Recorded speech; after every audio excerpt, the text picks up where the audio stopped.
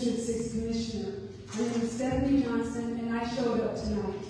I have the experience, I have the knowledge, and I have the ability. I know that there are many things I personally know. I don't think, and I don't believe, I personally know that there are many things that are, that are challenging on the commission, and I have the experience to contribute to solutions. There needs to be solutions quickly. I want to win this race. I run a, fair, honest, hard-working race for 183 days now. I announced last year, and I've been working every single day. I have not made any name calling, and I have not said anything negative about the incumbents who've all spoken negatively about me.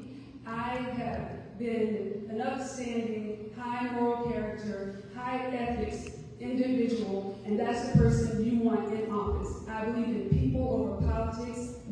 Party. Thank you.